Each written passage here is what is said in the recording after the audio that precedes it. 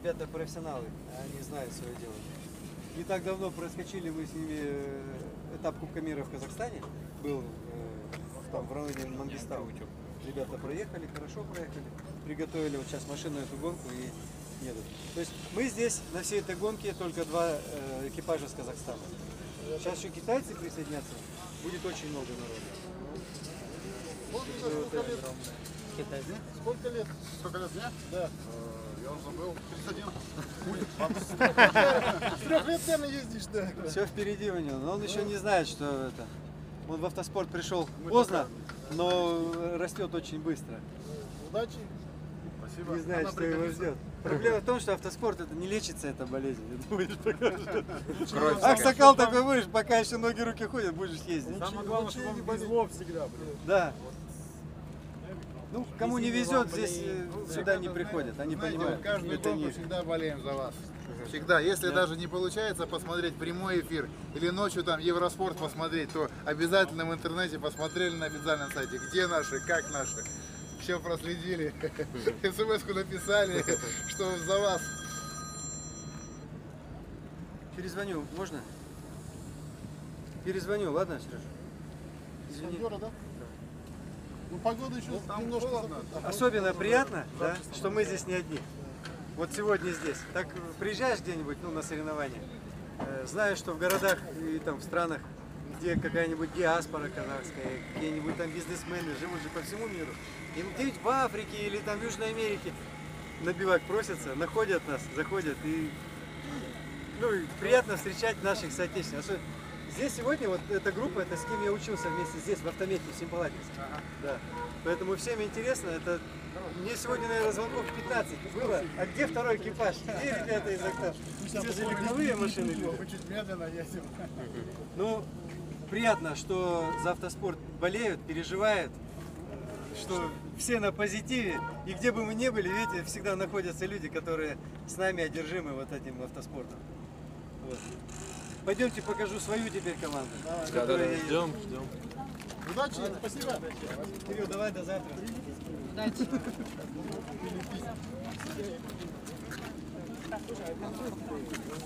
Березовский из поломанной спиной. Как так? Август, застарелая шла. В Ютубе что ли интервью давал? Подожди, подожди, сейчас сделаем. Я вас отсюда отпущу и. Хочу представить вам свою команду, с которой я работаю сейчас, в настоящее время. Это Дерой Тим. Э, Команда очень старая, э, уже 40 Дакаров. Это будет 40-й юбилейный Дакар. И с первого Дакара команда Дерой участвует в этих гонках. Еще с, э, с Африки. Э, был Ян Дерой. Это отец Джерара Дероя, сегодняшнего лидера. Ян Дерой выиграл неоднократно Дакар. Это победитель, это легенда. Человек начинал с мотокросса, он э, чемпион по мотокроссу, в автоспорте, и знает его вся Европа, и, и в Голландии это, ну, это люди с большой буквы. Всю жизнь века, да? Э, Они ездили на Дафе, на, на разных автомобилях. Я боюсь сейчас ошибиться. Но последние уже много лет они едут на, под брендом Ивека. Это те профессионалы, которые строят, испытывают, готовят и дерутся до конца э, за победу. Сам Джерард участвовал, я даже не знаю, сколько он участвовал, но два раза он выиграл. Два раза он выиграл. Сегодня он приготовил автомобиль нового поколения. Я еду на его старом автомобиле, а он едет уже на новом. Я сейчас вам расскажу, в чем его прелесть и секрет. Сегодня это самый быстрый автомобиль, который здесь есть.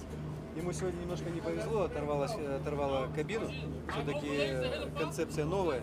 И здесь вот он ее как раз испытывает для того, чтобы на Дакар выйти уже такой окрепнувший. Четыре года он готовил эту конструкцию. И вот это первая большая гонка, на которой он испытает эту машину. Надеюсь, ему повезет до конца ее довести до, до Оксиана и испытать все узлы, все агрегаты. Но это хорошо, что нашлись дефекты. Значит, он их устранит, и больше они никогда не повторятся. Э, У нас всего в команде сейчас три машины. Это Джигар, э, мой и еще э, Том едет.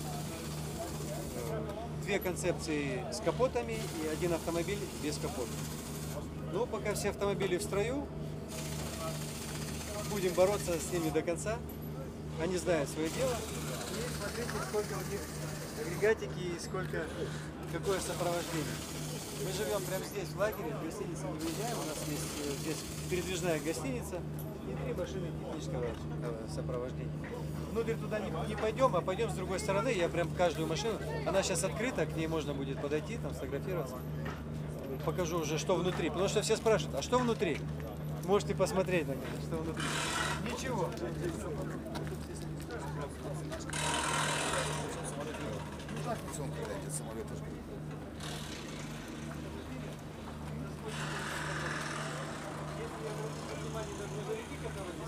Это единственный грузовик с независимой подвеской.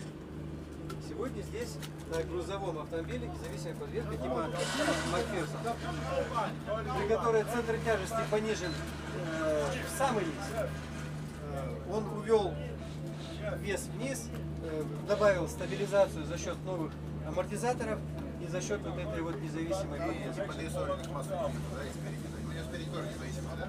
Да, и перед и зад независим. Не как раньше. Плюс у него автоматическая коробка передач. Он впервые использует Алисон.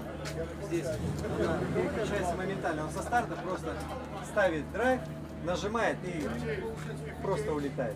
Как с рогатой. Ну, навигация, куда, куда приехать, и все. Да. Ну и также машина, то есть она не железная. Она вся собрана. То же самое, если посмотрите. Все облегченное, весь конструктив отработан. Даже если она перевернется, кувыркнется, все, что здесь находится, ничего не сломается. Проверяли. Красота техническая. Сегодня это шедевр автомобилестроения. Тот, кто понимает, тот знает. Даже если заметите, он подрезает колеса, он вырезает шашки. Зацеп колес еще выше. 2 сантиметра он снимает, для того, чтобы резина меньше грелась. Да, будет меньше зацеп, но именно на больших скоростях э, резина с высокими, с новыми шашками, она нагревается здорово. Поэтому, ну, он так считает, что надо э, обрабатывать колесо. Это пока допускается регламентом, он это делает. Насколько хватает резины? Одни колеса на один день. На один день А собой. стоит дорого тоже. 800 евро стоит один резиной едет. Самое обидно, когда легкое скольжение, попадаешь в камень и баллон рвется. На замену уходит где-то 8-9 минут на замену колеса. 8-9. Да. Ну, в режиме гонки 8-9 минут. И жалко остаться без запаски. Больше времени, да, жалко. Да. Теперь хочу вам представить автомобиль, на котором я еду. Это тот автомобиль, на котором выиграл Дерар. Э, Дерой выиграл э, Дакар предыдущий. На этом Дакаре то же самое. Он ехал на этом автомобиле. Машина проверенная, надежная. Поэтому, когда встал выбор, на, на чем ехать, я посчитал, что лучше этой машины сегодня для меня не придумать. Потому что она уже проверенная. И по надежности вопросов нет. Единственный момент, то что Джерар ее конструктировал именно под себя. Э, Под свой стиль пилотирования, э, под то, как он умеет, как ему нравится и, и все такое. И я просто сел в эту машину, понятно, у меня другая пилотажка, у меня другие веса в голове, я по-другому сижу в кабине, у меня э, ориентирование массы по-другому уже здесь в голове сложено. И это как будто я его штаны одел, которые он для себя шил. И они мне здесь велики, здесь жмут, здесь неудобно, здесь... Ну, я хочу к этой машине привыкнуть, слиться с ней. Пока я прошел три боевых этапа, мне все нравится, все устраивает. Но пока я еще не нашел тот компромисс, хотя машина сильнее, чем я. Еще я ей не управляю. Так как Нужно немножко Что, времени. обязательно постоянно снимаем, тут все проверяют, все колеса, все в каждом городе? что? По регламенту проверяют абсолютно. У них есть То чек-лист. есть сломалось, не сломалось, Сломалось, не сломалось. Есть регламентные работы, а потом те работы, которые мы привозим. А команда одна, да? Вроде На каждую машину у нас по 4 лица. у нас это они вот в одной спецотделке и Ну, конечно, одна команда, они одеты. они- Это ты так можешь. Не, ну что-то ты, наверное, секрет узнаешь, да? Я хочу узнать, хочу. Ну, я понимаю секрет. Ну, то есть я, я сел в чу- в чужой автомобиль, который под себя он делал. Нужно мне время, чтобы адаптироваться. Я хочу таким путем пойти. Я знаю, что эта машина проверенная, надежная. Зачем я ее буду что-то менять? Я хочу в нее влиться, интегрироваться с ней, чтобы я уже вот за год я работаю с маном, тот ман я использую на, на весь его потенциал. Но мне нужен был год. Сейчас я на нем могу дубасить как ненормально. Видели. Ну да. Я поэтому подумал, наверное, тебя меняют. Э, Мне нужен год, я с этой машиной справлюсь, потом ее подгоню, подошью под себя. Что-то же можно дорабатывать? Конечно, конечно, но сначала я должен Понять его полностью. познакомиться. Рецепт Так, так, как он есть. Принять его таким, как он есть. У него это как конь, он тоже брыкается, тоже что-то не любит, где-то сопротивляется. Какие-то нагрузки он не принимает. А я, например, привык на, на другой машине, там, ну, в верхах ехать, больших оборотах. А, а кто-то привык снизу машину там за счет момента разгоняться. Я должен найти компромисс. И по, по ходовым характеристикам то же самое. Вот он любит мягкую машину. Мне надо пожестче. Ну, пока еду специально, не меняя настройки в подвеске, потому что знаю, он на ней выигрывал. С этими настройками. Может, мне надо что-то изменить во мне. Тебе подстроиться. Да, подстроиться под это, и потом будет, буду так же ехать. Возможно. Цель-то есть победить? Всегда с целью победить, а там как получится. Вот сегодня все хорошо было, но мы встали, сломали. Что сломалось? Загорели сегодня? Да ладно. Да. Чуть не потеряли машину. Этот автомобиль, он в принципе такой же, только кабина. У него евротрак у него была на кабине. Спасибо. Да, да. Наша еще гостиница не подъехала. У нас есть ну, вот большие кирпичики. Еще есть такая же большая, мы там живем.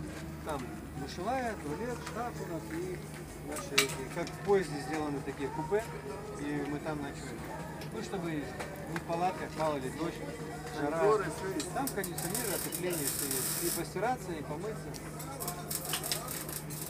Вот ребята сейчас занимаются Большая проблема, грязь сначала надо убрать, чтобы что-то, да, это солончак. И сегодня колеса забились вот между тормозными суппортами и диском.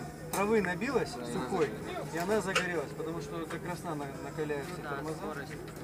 Да. И, А вроде погода не жаркая, да? ну, тормозам жарко, потому что постоянно подтормаживать. Почти 10 тонн весит автомобиль, его с максимальной До скоростью 1000 там градусов, наверное, разогревается. каждые 20 секунд тормозит перед каждым поворотом. Прикурить спичек нету, раз пошел, прикурил. Захотел покурить, да? Остановись резко, да? Прикурил, да, и все, там вышел, да? 12. Прикуривать в машине не Вот, ребят, ну пойдемте сюда. Там просто я боюсь, что это железки.